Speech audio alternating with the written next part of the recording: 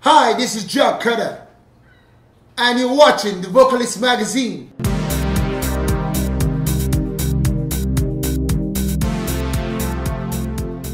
My name is Jared, and I am here with Jah Cutta. So, greetings, greetings, greetings, greetings, Greetings. greetings, my friends. so you are the king of reggae in Montreal. Tell me how you got started. Well, thank you very much first for having me, and You're welcome. um, give thanks and praise to be here today.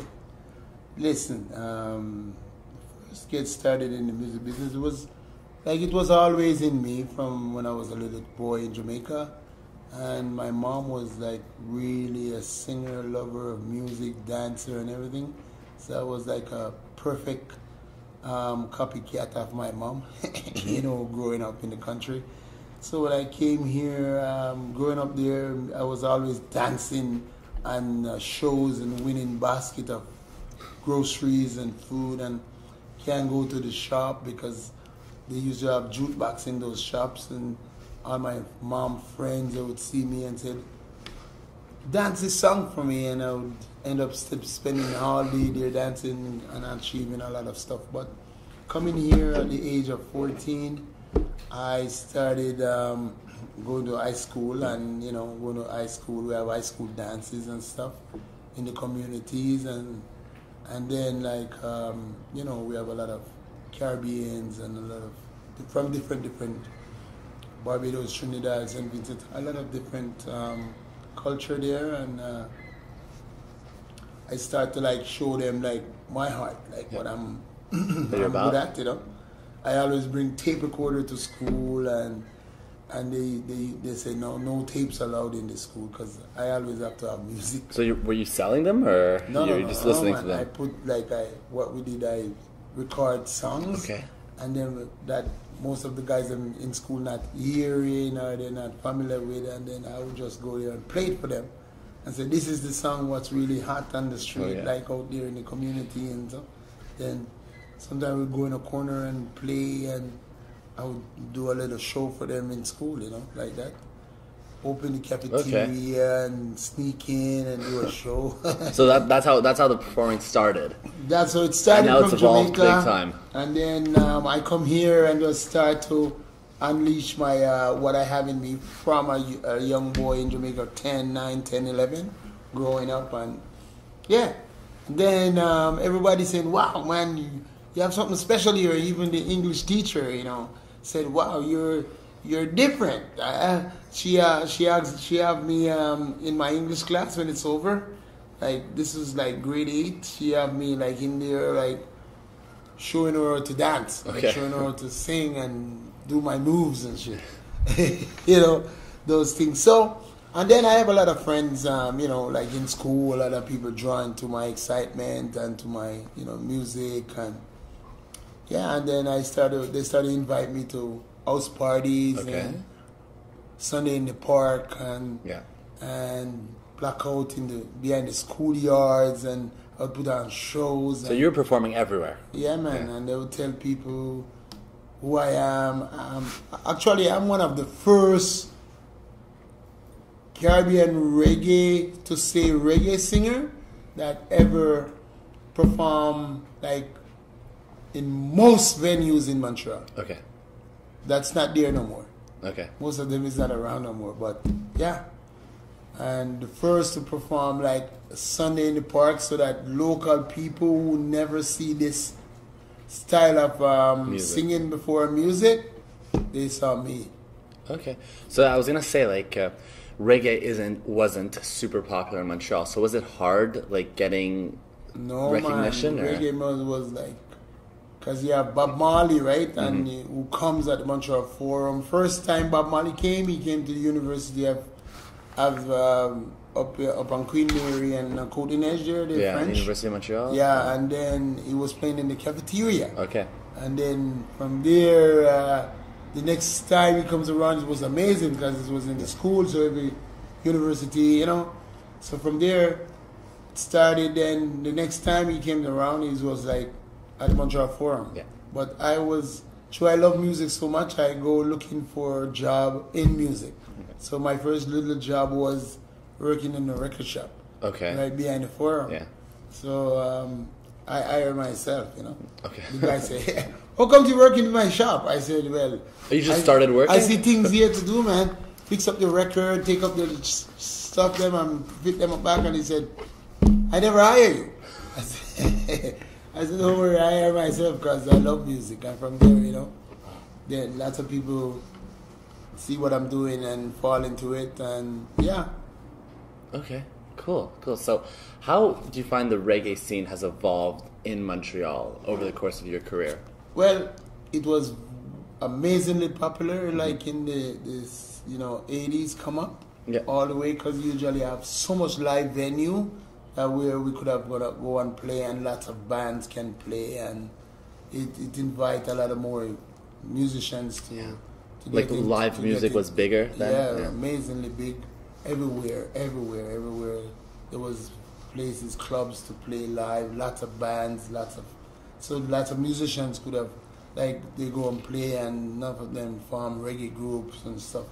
But since like after that, it's like the club they're closing down, and then everybody kind of so reggae Okay. was amazingly popular here, and yeah, it, it was like cool runnings kind of life. You know, everybody was like kind of lay back, chill, Yeah. cool, relax, peace and one love kind of vibe. Was it? It was a lifestyle. Yeah. Okay. And then everybody was like more loving then, you know, more cooler then. Everybody was chill, just pure joy. But since, you know, and then, yeah, reggae brings that, Yeah. you know. So at that time it was like an hippie kind of thing. Mm-hmm. And like lots of, lots of white Rasta comes from all over Quebec, Vermont, everywhere, man. When Bob Marley play at the Montreal Forum and it's just to see that vibes. You Yeah. don't see that no more. No. No. Okay. You don't really see that no more because, I mean, all like different type of music was always there, but Yeah. You you find uh, lots of different things comes into um, acception where people accept and they drink and they smoke or they take swallow, and then some people go fast, some people go speedy, chemicals is burnt. It wasn't joint no more. It wasn't the weed no more. You know, where people nice and relaxed. Okay, so reggae was it was just chill. It was a fun time. Yes, And then man. people got a bit too hard. because of things that comes into the to Okay. the, the picture and to the mainstream and to people and people people accept and like so it started to go faster speedier and things change So when you say society changed and Yeah. that led to the decline of reggae, yeah society changed and people weren't into that chill vibe and anymore. people wasn't into that show vibes anymore and then here comes technology where computerized music and they cut all the live bands and live music away from live you know Okay. where people can come to the club this Thursday Friday and see a different band different doesn't matter who but it's playing good music towards the spirit of people Okay. and then yeah I see. Okay. yeah. so you know, I mean, man, I'm I'm I'm here and I'm so happy to be alive and well still after all these years. I played with most of the great reggae artists them and different singers around the world. 'Cause Okay. I opened for James Brown before. wow. I opened for Patti LaBelle. I sing with Richard Seguin.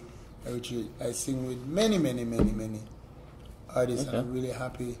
Nice. Yeah. So uh, I mean, you said reggae is a declined, but you you still have a career. You're still uh, singing. Yeah, well, I'm happy to be singing still. Yeah. Yeah. but it's not easy. No. Okay. it's lot uh, harder. You have to like really fight hard, hard, hard to stay alive in this in the business, like any other business. But the music business, it's not as open and as freely accepted as before. Okay. Now they categorize everything and put stigma and hold back certain certain culture of event from happening and just hold back certain event.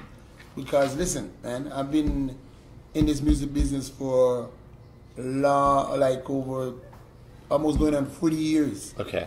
And I tour a lot Yeah. Mm-hmm. in Canada. Everywhere I tour. I think I'm one of the most tourist reggae group uh, in this country. Okay. And this is like a fact. Yeah, I looked that No, up. no I- matter where you go and check, Yeah, and it's only one time I ever get a grant from the government. Once. Really? Okay. You Okay. know why? Because they don't really sponsor Caribbean to say citizens, Canadian citizen Caribbean artists as much as any other else artist. Well, they favor French artists. Well, I realize that, but Yeah. what they should do, you know how many tax I pay, bros? no. You know how many tour I made on gas and all these Oh, yeah, yeah, yeah. sponsors and how many money, stuff, and I and still don't acknowledge. Okay.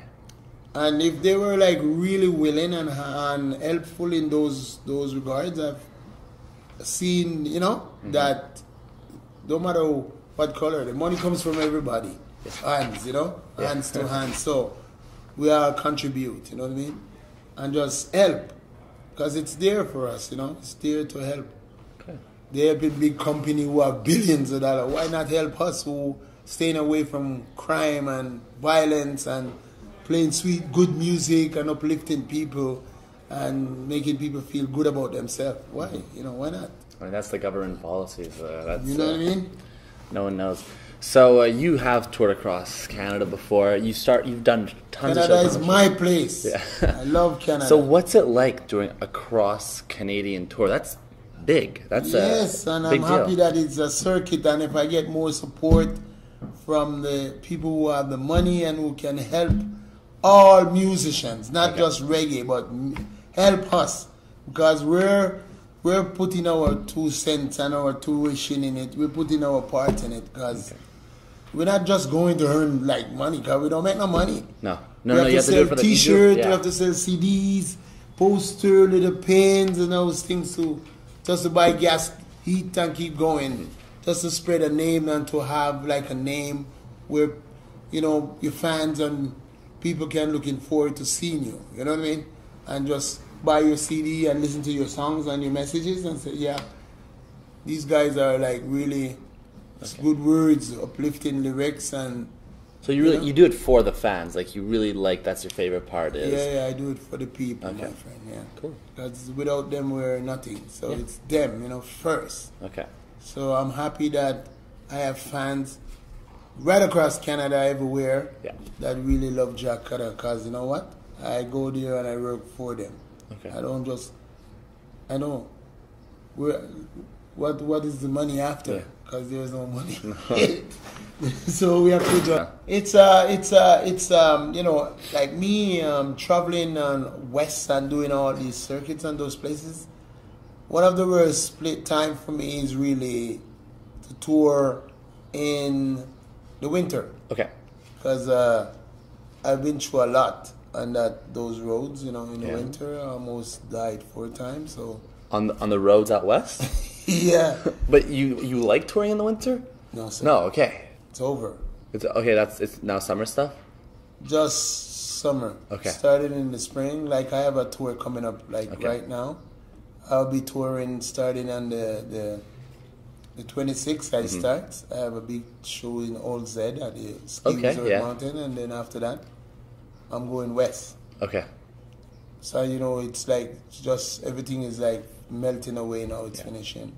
Winter is one of the most treacherous time to tour for any group Okay. across Canada, Just because of the, the conditions, how just because of the condition Okay. of the, the road and stuff. Because the temperature change a lot there, Yeah. and uh, gets even you- colder than in Montreal. yeah, you'll be driving on like like just asphalt, and then Yeah. five miles down the road, it's like black ice. Okay. So, you know, those are the things. But otherwise, in the summertime, it's amazing. Okay. Springtime, summertime, it's wonderful. And uh, you have like when you perform, like from videos I've seen, you have an extremely good stage presence. A lot, a lot of fun. Like, where do you get that from? Is that is that an act, or that's just really you? Act. An act? No, sir. Okay. No, no, no, no. You, when you're real, you can't Okay. hack.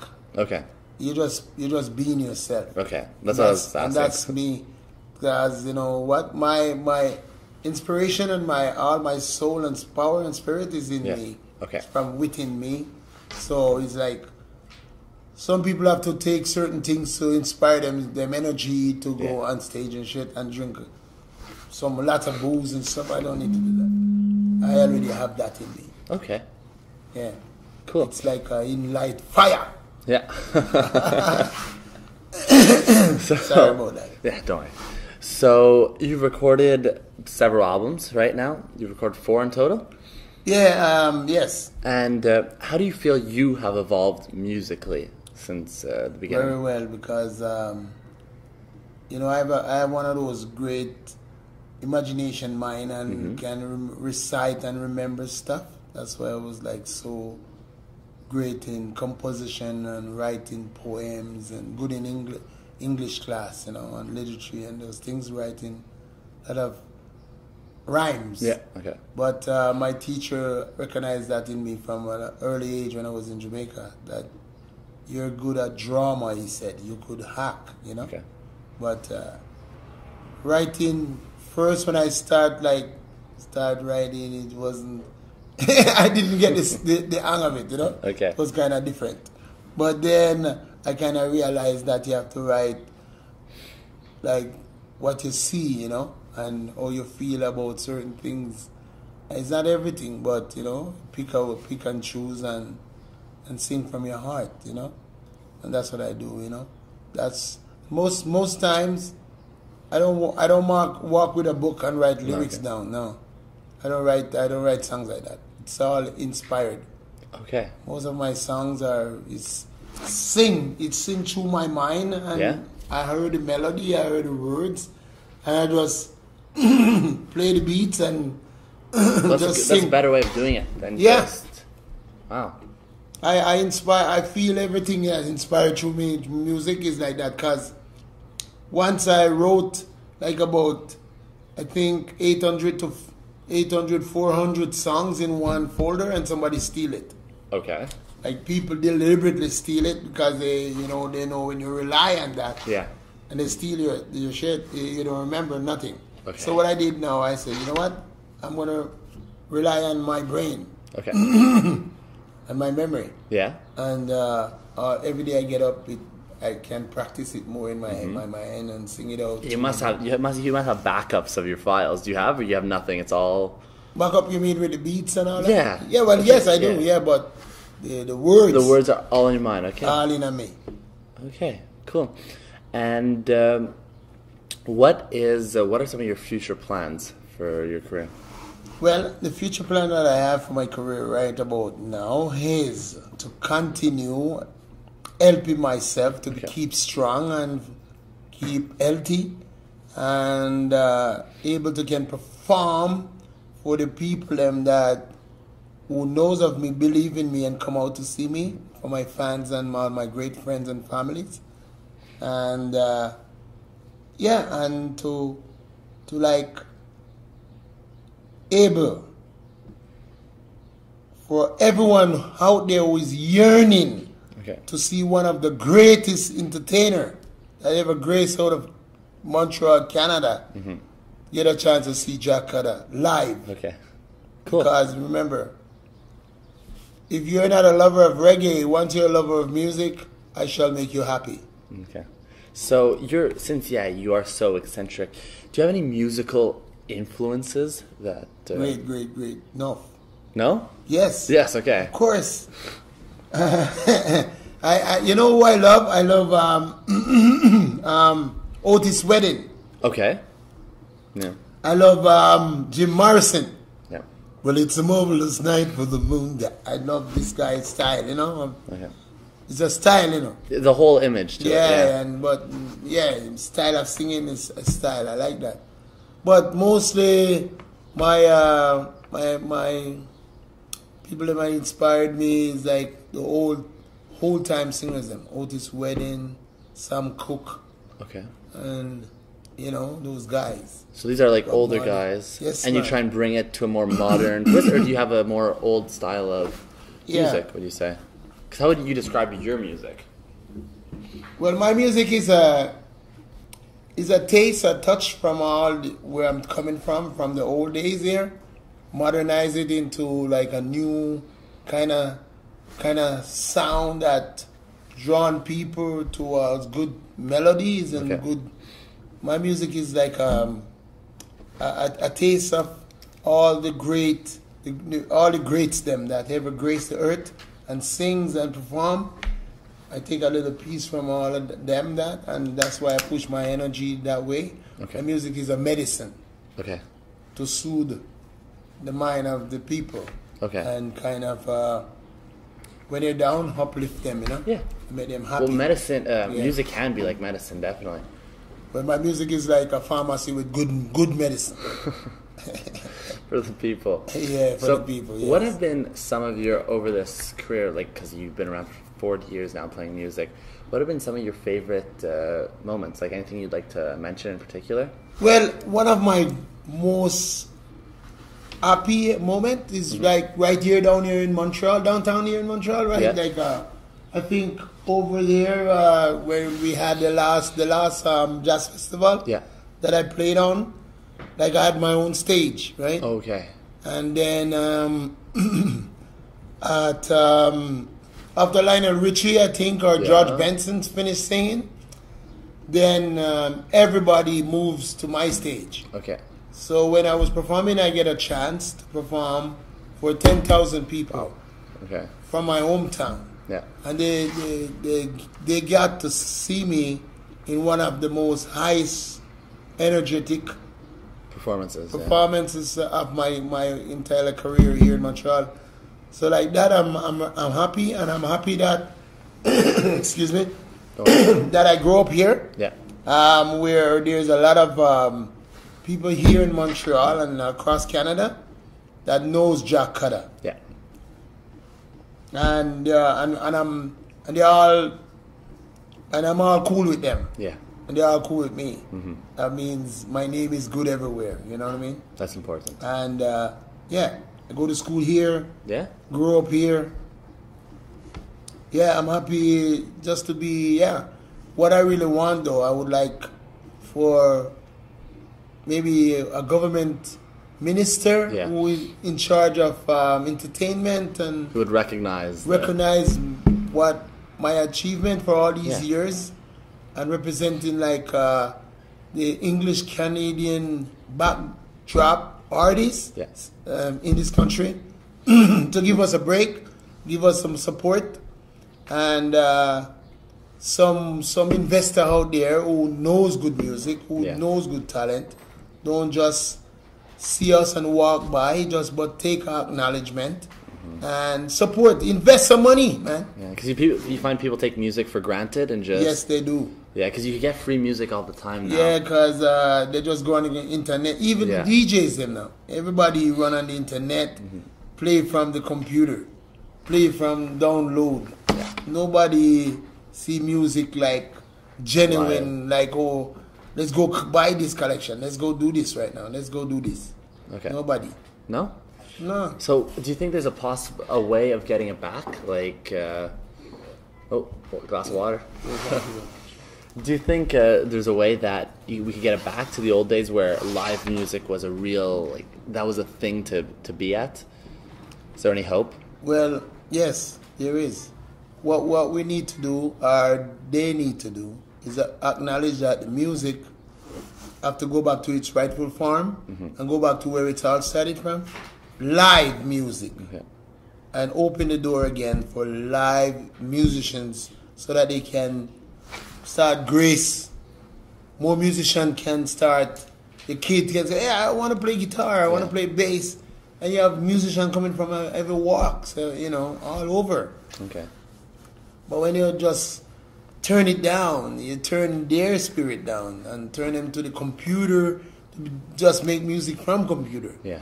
But it's okay to get one and two, but it, that's that's not the right way. You know what I mean? I mean, it's not real recognition no if you get music, yeah. no realness. You understand? No.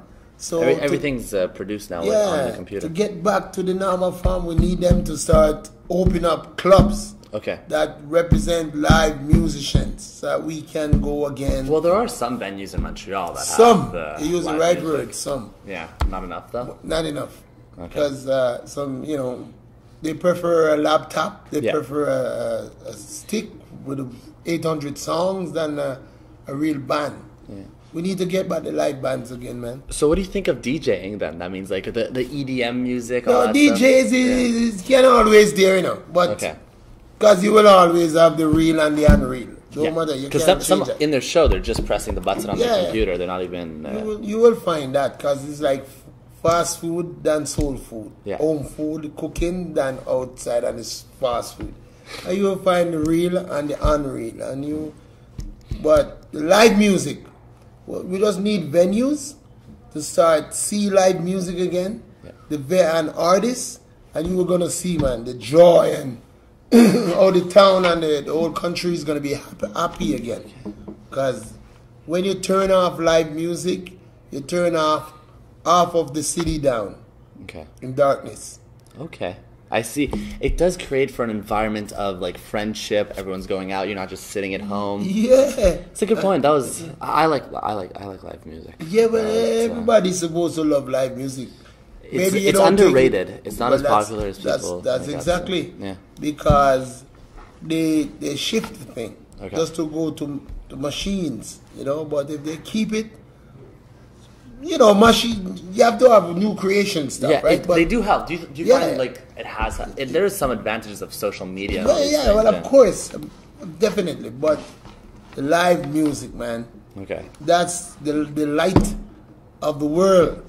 You turn off that, you turn off, like you're turning out, you're dimming the, the, the soul and the light of the world, turning it off.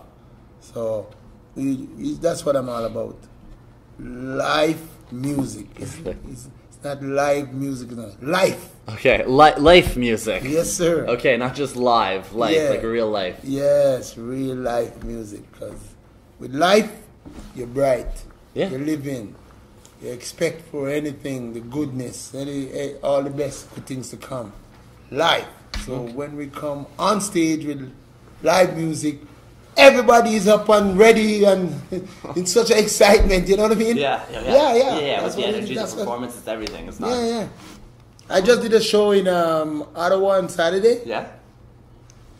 crowd was like um, from 25 35 25 up Okay. to uh, like 70 Okay. age Okay. and trust me it was amazing It was okay. everybody was dancing and going sick i'm telling you man you know it's like that so What's the secret to these shows that you get everyone uh, going wild?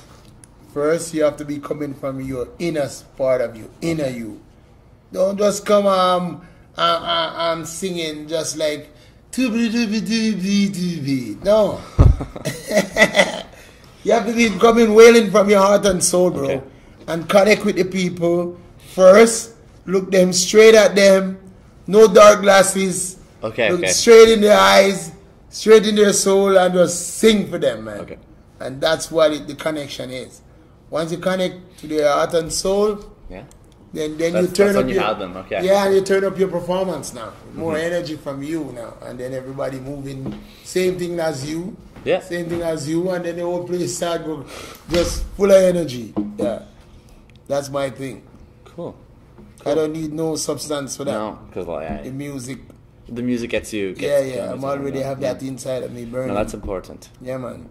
Thank you very much for this Um, it's my pleasure to be here. interview and life lesson Yeah. on the importance of music. yes, sir. Yeah, I really like the message you were uh, you were saying. I just need uh, I- all I, I just need some uh, more uh, wider opportunity Okay. because uh, I get a lot I get opportunity Yeah. but there is I see chances and opportunity where where if I get that break to like like just to expound to people from my myself perform for them and let them see they will say wow all these years this guy's here and what happened how come we wasn't seeing him you know what I mean that's uh, and then from there I can help my family help myself and help other musicians that coming up the ladder Perfect. you know because this is not for me alone it's, No, no, no, no. If, it's if for- you get it, like everyone, yeah, everyone, everyone yeah because me I, I I've been in the business the whole industry needs help. It's just yeah, yeah. and I carry a lot of musicians with me. Okay. I don't just, for me, I help a lot Okay. with my help. come Cool. forth other efforts. Well, good luck with the the career and the future goals man. and the, the dreams. God bless you, man, and give thanks. Thank Give thanks for having me. well, thank you. Thank you very much. man. Bye.